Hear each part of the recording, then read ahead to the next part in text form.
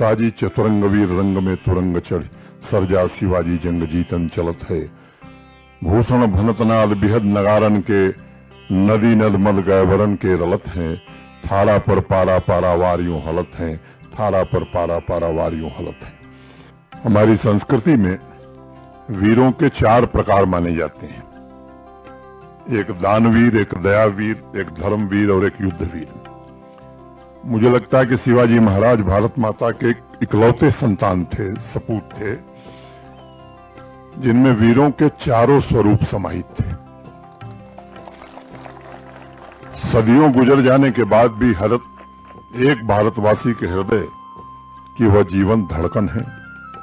वह कैसे वीर महापुरुष हैं, जिनके नाम के स्मरण मात्र से रगों में खून दौड़ने लगता है। स्मृति पटल में उनकी छाया भर से इस देश के नैतिक मूल्यों और आदर्शों की धारा प्रस्फुटित होने लगती है। शिवाजी के विजय प्रयाण की गाथा उत्साह का संचार करती है और राष्ट्र विरोधी शक्तियों के खिलाफ एक बड़ी ललकार भरती है।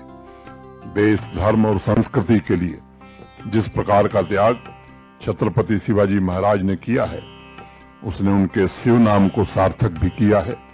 मुझे खुशी है कि शैव दर्शन की इस पवित्र भूमि माँ शारदा की इस मिट्टी में आज सात नवंबर को एक नई परंपरा शुरू हो रही है।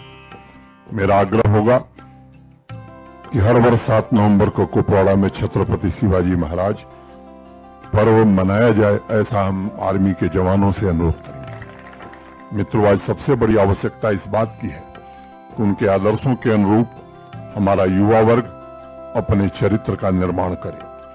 समाज के हर एक वर्ग, माँ भारती की रक्षा में जुटे, हर एक बहादुर जवान को शिवाजी महाराज से सीखने की आवश्यकता है कि विषम परिस्थितियों में भी आत्मविश्वास नहीं छोड़ना है, क्योंकि वही एकमात्र ऐसी शक्ति है जो कठिनाइयों पर विजय प्राप्त करने की क्षमता प्रदान करती है। आत्मविश्वास ये साची गुरु किल्लिया है।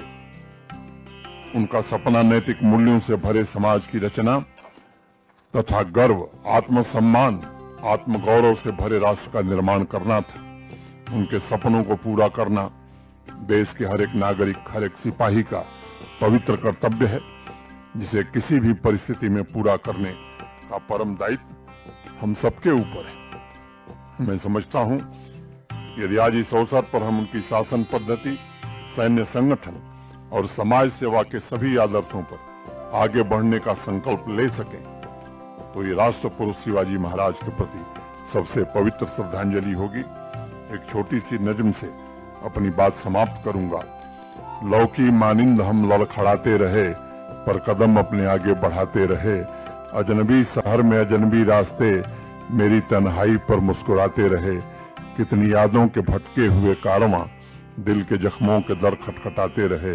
ज़िंदगी भी हमें आजमाती रही और हम भी उसे आजमाते रहे। सख्त हालात के तेज तूफ़ान में गिर गया था हमारा जुनून वफा वो चिरागे तमन्ना बुझाता रहा।